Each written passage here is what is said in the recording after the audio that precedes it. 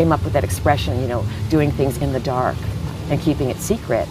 And, and so there's a lot of truth in, in sort of just, you know, casual Mm-hmm. expressions and, and casual things that we know. And it's the time to, to bring all that into focus and realize these things are really, really important.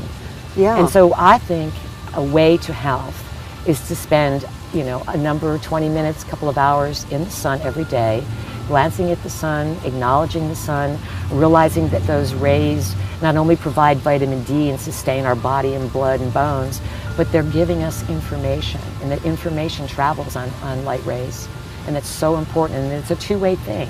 We can communicate with the sun and just express our feelings or, or whatever, but there's, it's not, it's not like worshiping God or anything like that. I think that my concepts of create, creator and source and all that, they're so large that I can't define it into a God, so to speak, Right. especially a male God. Right. Because how can, you know, there's always the female component, and that's really another thing that's vastly missing from our planet, is that women are awakening, and unfortunately, so many women think they have to awaken into this feminism that turns them into men. And they lose their beauty, and they lose the whole idea of producing beauty and, and embodying life and protecting life.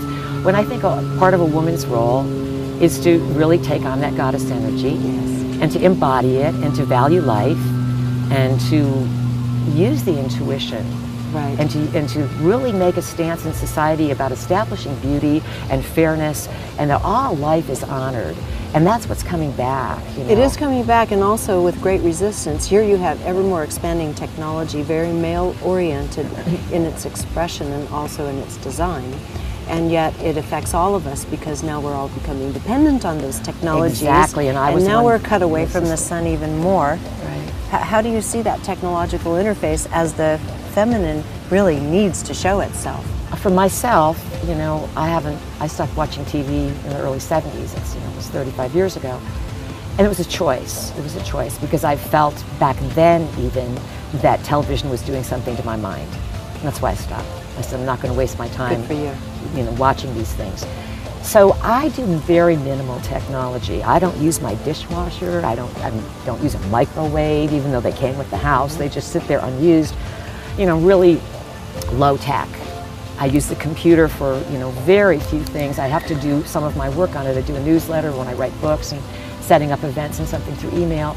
But it's not something I look to to jump into every day because to me, I can't wait to go outside. Yeah. You know, I live in a beautiful place. I, I purposely picked a place where I had land, enough to manage, you know, and enough to enjoy and garden and have campfires in my backyard and sweat lodges and parties on my deck. And, and that's how I socialize. I, I really take people and myself out in nature. So it really comes down to a choice. It does. Nonetheless, if you look at the really large scale, if you're talking about children in particular being totally indoctrinated into the use of technology, and I was noticing even in the, in, you go to a movie now in a theater, and you'll have, unlike even a few months ago, certainly a year ago, you got your ad to, you know, join up with Uncle Sam. First of all, is your recruitment ad, followed by a, let's buy this really violent, nasty video movies, right? game for Christmas or for the holiday season, Hanukkah, for your children. It's followed up with the very thing that's going to program them. Well, these are all programmings, and the important thing about any visual art, okay, anything that we start choosing to, you know, turn on and watch for entertainment, the brain, our brain waves change, and they immediately drop from, you know, a conscious state into a very unconscious state. And people do that because they don't know how to relax anymore. They don't, and no one's talking about anything meaningful, so they don't know how to like discourse or just have fun without, you know, in, in deep inebriation or something like that.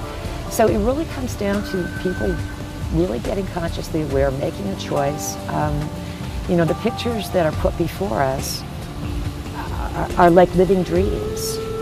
And they're forms of program. And, and so those pictures go in our brains, and then we think that's reality.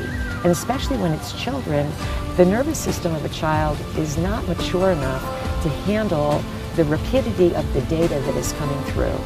And I think that the speed up of, of, of games and, and violence and how fast everything goes and how little it is, even though it's entertaining, mm-hmm. what's happening is, is that it's shutting down the perception. So that when you see people looking at some little device and the picture's this big, I have a bunch of nephews, and when they were really little, I'd walk into the living room, you know, instead of them being yelling and screaming like sometimes they would be and having a great old time, which would drive people crazy, but they were playing, it'd be quiet, totally quiet, and I'd look around and I'd say, what are you guys doing? And they're all in a trance with a little thing this big. I guess they're called Game Boys. Mhm. I never had kids, so I don't know.